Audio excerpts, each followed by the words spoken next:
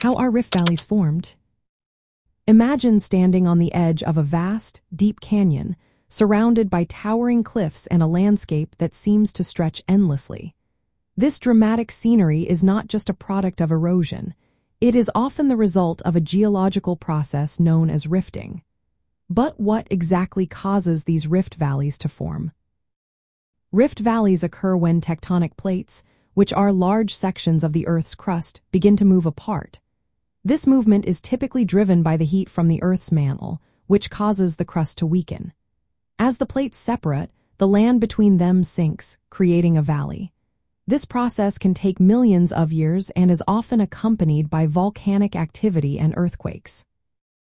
One of the most well-known examples of a rift valley is the East African Rift, which stretches from the Afar Triangle in Ethiopia down through Kenya and Tanzania. Here, the African tectonic plate is splitting into two smaller plates, leading to the formation of lakes, such as Lake Victoria and numerous volcanoes.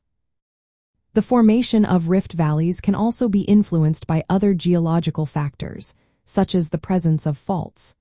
Faults are fractures in the Earth's crust where movement has occurred. When these faults are active, they can further contribute to the sinking of land and the widening of the valley. In conclusion, rift valleys are fascinating geological features that result from the movement of tectonic plates and the complex interactions within the Earth's crust. Understanding how they from helps us appreciate the dynamic nature of our planet and the processes that shape its surface over time.